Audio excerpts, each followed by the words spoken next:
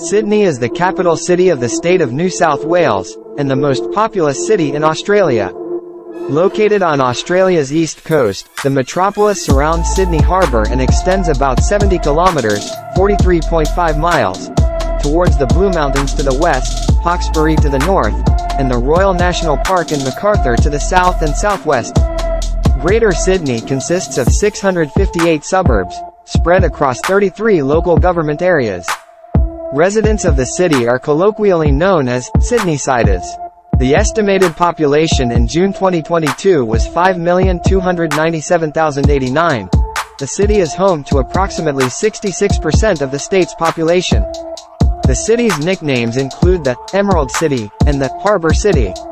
Aboriginal Australians have inhabited the Greater Sydney region for at least 30,000 years, and Aboriginal engravings and cultural sites are common. The traditional custodians of the land on which modern Sydney stands are the clans of the Darug, Dharawal and Eora peoples.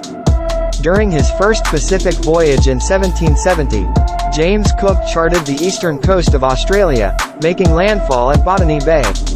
In 1788, the first fleet of convicts, led by Arthur Phillip, founded Sydney as a British penal colony, the first European settlement in Australia.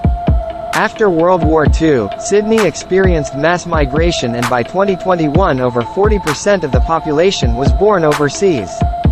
Foreign countries of birth with the greatest representation are mainland China, India, the United Kingdom, Vietnam and the Philippines. King's Cross is a suburb in Sydney which has long been a working-class area and home to many of Sydney's adult industry businesses throughout the previous decades. The Cross has been home to many of Sydney's most famous entertainment venues, Bohemians and Australia's earliest strip clubs.